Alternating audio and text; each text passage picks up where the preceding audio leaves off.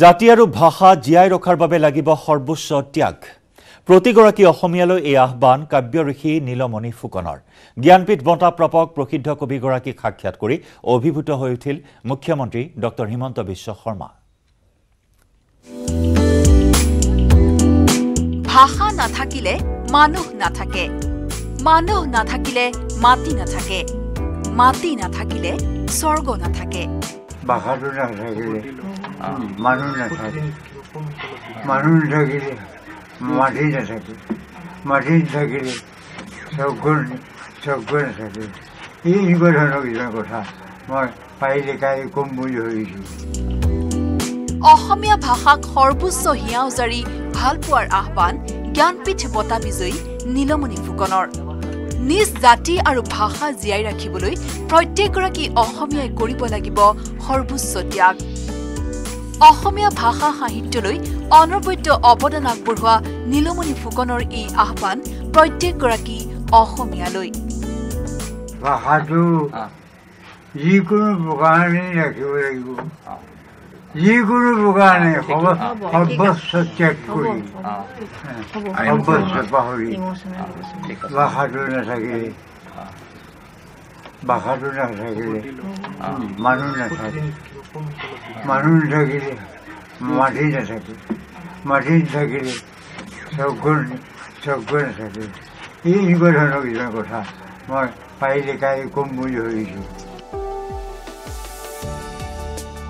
ভাৰতীয় ভাষাৰ সৰ্বোচ্চ সন্মান জ্ঞানপীঠ বঁটা প্ৰাপক প্ৰসিদ্ধ কবিগৰাকীক সাক্ষাৎ কৰি অভিভূত মুখ্যমন্ত্ৰী ডঃ হিমন্ত বিশ্ব শৰ্মা। মুখ্যমন্ত্ৰী শৰ্মাক কাষতে পাই কবিগৰাকীয়ে প্ৰকাশ কৰিলে নিজ ইচ্ছা পৰামৰ্শৰ কথা। শক্তিপীঠ কামাখ্যা ধাম সঘনে দৰ্শনৰ মন নীলমণি ফুকনৰ। ব্যক্তিগত কথা বতৰা তেখেতৰ চিকিৎসাৰ কথা বা তেওঁ মোক যিখিনি কথা ক'লে নেঘেৰি টিঙৰ দৌলৰ কথা ক'লে কামাখ্যা মন্দিৰৰ কথা ক'লে কামাখ্যা মাৰ ওচৰত তেওঁৰ বাৰে বাৰে গৈ থাকিব মন সেইখিনি ক'লে। গতিকে মইহে মই বেছিকৈ তেওঁৰ তেখেতৰ কথাই শুনিলোঁ। সাক্ষাৎ কালতে ঋষিকাব্য নীলমণি ফুকনে মুখ্যমন্ত্ৰীৰ হাতত তুলি দিলে নিজ সৃষ্টিৰাজিৰ গ্ৰন্থ। ভাষাৰ যাদুৰে সৃষ্টি কৰা কাব্য সন্মান প্ৰদান কৰাত কিছু বিলম্ব বুলি আক্ষেপ পৰিয়ালৰ লোকৰ।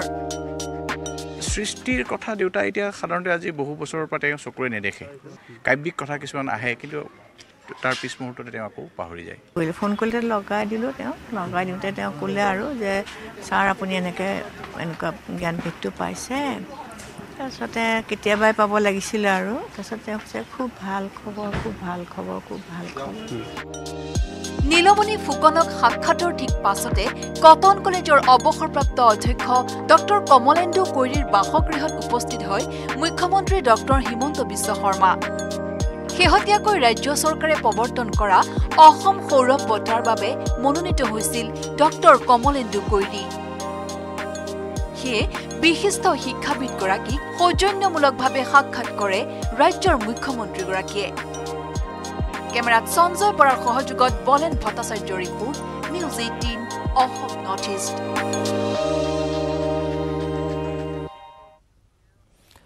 Amsing যোৰাবাটৰ বৰ্বৰ আৰু নৃশংস হত্যাকাণ্ডই কঁপাইছে গুৱাহাটী। হত্যাকাৰীক ফাঁচীৰ দাবীত বৃহস্পতিবাৰে কেইবাটাও সংগঠনে ঘেৰাও কৰে সাতগাঁও আৰক্ষী থানা। পূৰ্বে আৰক্ষীয়ে অভিযুক্তক ৰক্ষণাবেক্ষণ দিয়াৰ বাবেই বুধবাৰৰ বৰ্বৰ কাণ্ড সংঘটিত হোৱাৰ অভিযোগ প্ৰতিবাদকাৰীৰ। মাতৃৰ বুকুৰ পৰা কাঢ়ি নি মাতৃৰ সন্মুখতে ৰাজপথত যুৱতীক বৰ্বৰভাৱে হত্যা। ফাঁচী হবই লাগিব নৃশংস ঘাতকৰ। সাতগাঁও থানা ঘেৰাও শ শ মহিলাৰ।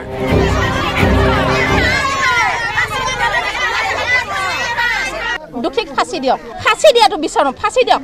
আজি আমাৰ ছোৱালী হৈছে কালি আপোনাৰ ছোৱালী হ'ব। সাতগাঁও প্ৰশাসনে এবাৰ হ'লেও দেখাওক যে তেওঁ ল'ৰাটোক ধৰিছে তেওঁলোকে ল'ৰাটোক সোধ কৰিছে। তেওঁ কি ভাষ্য আমি শুনিব বিচাৰোঁ? কিয় কাটিলে কি কাৰণে কাটিলে আমিওতো শুনিব বিচাৰোঁ। অভিযুক্ত হত্যাকাৰী সঞ্জয় লালুঙৰ দৃষ্টান্তমূলক শাস্তিৰ দাবীৰে ওলাই অহা প্ৰতিবাদকাৰীৰ অভিযোগ। সঞ্জয়ৰ বিৰুদ্ধে দুৰ্ভগীয়া মৰমিতাটিয়ে বাৰম্বাৰ এজাহাৰ দিয়াৰ পাছতো আৰক্ষীয়ে ব্যৱস্থা নোলোৱাৰ বাবেই সংঘটিত হল বুধবাৰৰ বৰ্বৰ ঘটনা।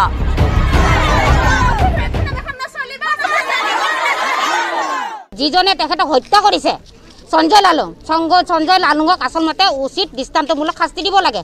আৰু তেখেতে এই অসুবিধা কৰাৰ কাৰণে তেখেতে আচলতে দুখন এফ আই আৰ দিছিলে বোলে থানাত। কিন্তু এফ আই আৰখন কোনো একশ্যন নল'লে।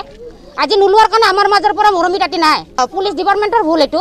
তেখেতে যদি আজি ৱাৰ্ণিং দিলে হয় তেখেতক যদি কিবা এটা শাস্তি দিলে হয় কিন্তু আজি এই মৰমি দাঁতি আমাৰ মাজত থাকিলে হয়। এজাহাৰ দিয়াৰ পিছতো আৰক্ষী প্ৰশাসনে কোনো ধৰণৰ একশ্যন নল'লে তেওঁলোকৰ আজি তেনেকুৱা হৈছে ধেমাজিত হৈছে আজি আমাৰ সাতগাঁও অঞ্চলত আহি পৰিলে। আমি আমাৰ আমাৰো নাম্বাৰ আহি যাব তেতিয়ালৈকে আমাৰো ভয় লগা। অঞ্চলটোত সংঘটিত বিভিন্ন অসামাজিক কাৰ্যকলাপেৰে সাতগাঁও আৰক্ষীৰ স্বৰূপ উদঙাই দি প্ৰতিবাদকাৰী মহিলাৰ মুখ্যমন্ত্ৰী ডক্টৰ শৰ্মালৈ আহ্বান।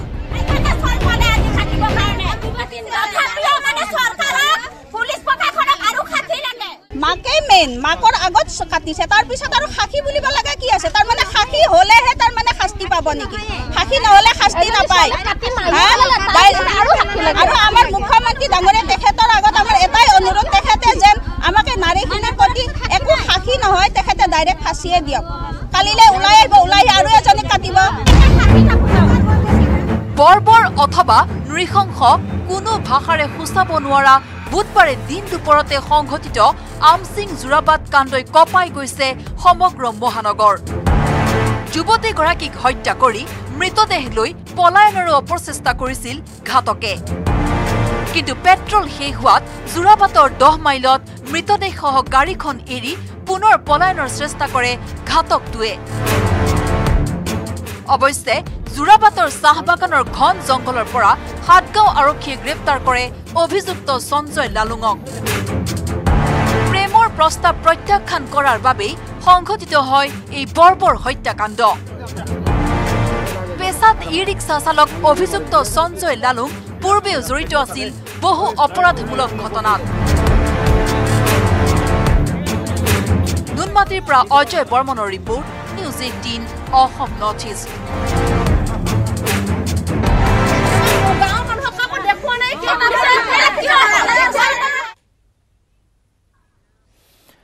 দিছপুৰৰ ষ্টেট বেংকৰ মুখ্য কাৰ্যালয়ৰ সন্মুখত আজি বেংকসমূহৰ ব্যক্তিগতকৰণৰ বিৰোধিতাৰে বেংক কৰ্মচাৰী সংগঠনে সাব্যস্ত কৰে প্ৰতিবাদ। হাতে হাতে প্লে কাৰ্ড লৈ বেংক কৰ্মচাৰীয়ে সাব্যস্ত কৰে প্ৰতিবাদ। Banking law amendment bill two thousand twenty ওৱানৰ বিৰোধিতাৰে প্ৰতিবাদকাৰীয়ে এই প্ৰতিবাদ সাব্যস্ত কৰে। ৰাইজক এই প্ৰতিবাদত সহযোগ কৰাৰ আহ্বান জনালে বেংক কৰ্মচাৰীয়ে। ষোল্ল সোতৰ ডিচেম্বৰত দেশজুৰি বেংক কৰ্মচাৰীৰ ধৰ্মঘট।